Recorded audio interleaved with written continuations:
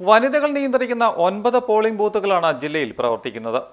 ഓരോ നിയോജക മണ്ഡലത്തിലും ഒരു ബൂത്തിൽ പോലീസ് ഉദ്യോഗസ്ഥർ വരെ വനിതകളായിരിക്കുന്നുവെന്നാണ് പ്രത്യേകത. പ്രിസൈഡിംഗ് ഓഫീസർ മുതൽ പോലീസുകാർ വരെ വനിതകളായി ഒൻപത് ബൂത്തുകളാണ് ജില്ലയിൽ പ്രവർത്തിക്കുന്നത്. എല്ലാവരും വനിതകളാണെന്നത് ഇവരെ ഒട്ടും ഭയപ്പെടുത്തുന്നുമില്ല.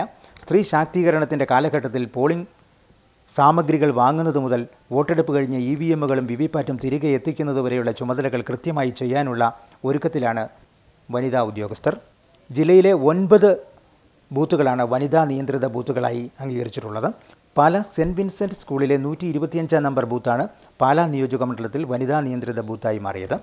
പ്രിസൈഡിംഗ് ഓഫീസറായ ഇടക്കോലി ഗവൺമെന്റ് ഹയർ സെക്കൻഡറി സ്കൂളിലെ അധ്യാപിക സംഗീത ജോസിന്റെ നേതൃത്വത്തിലാണ് അഞ്ചംഗ വനിതാ സംഘം ഇവിടെ തെരഞ്ഞെടുപ്പ് നിയന്ത്രിക്കുന്നത്.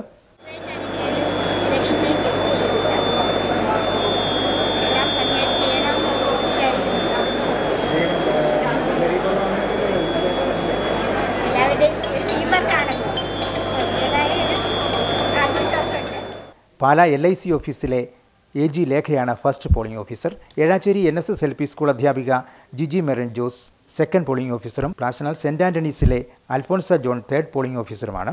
വൈക്കം പോലീസ് സ്റ്റേഷനിലെ ശിഷ്യരയ്ക്കാണ് ക്രമസമാധാന ചുമതല. കടുത്തുരുത്തി നിയോജക മണ്ഡലത്തിൽ കുര്യനാട് സെന്റ് ആൻഡ് സ്കൂളിലെ ബൂത്തും വനിതാ നിയന്ത്രിതമാണ്.